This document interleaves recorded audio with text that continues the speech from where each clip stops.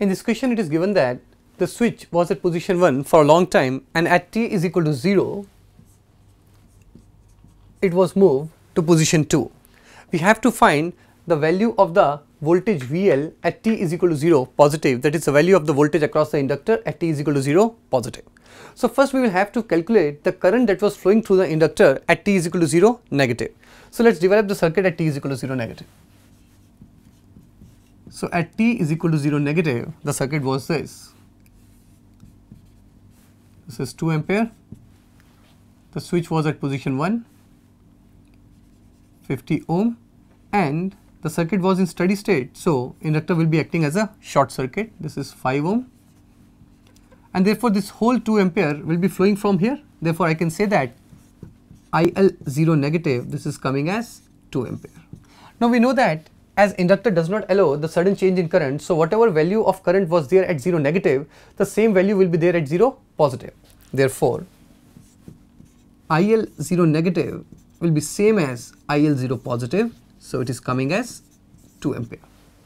Now, as he has asked us to do the calculation at t is equal to 0 positive, so let us draw the circuit at t is equal to 0 positive.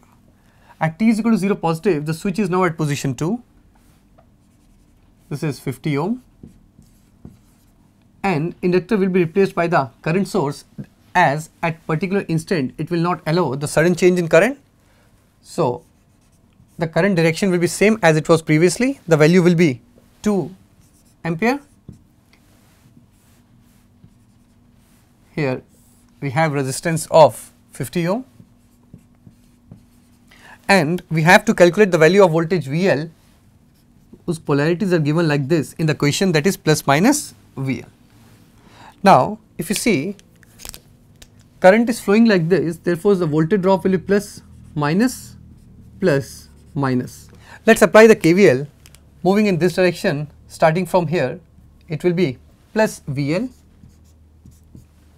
plus resistance multiplied by the current 2 then again plus resistance multiplied by the current 2 this is equal to 0 or you can see from here VL will be equal to 100 plus 100 on this side it will be minus 200 and as he has asked us to calculate the magnitude of the voltage so it is coming as 200 volt. Therefore, the magnitude of the voltage across the inductor at t is equal to 0 positive it will be 200 volts.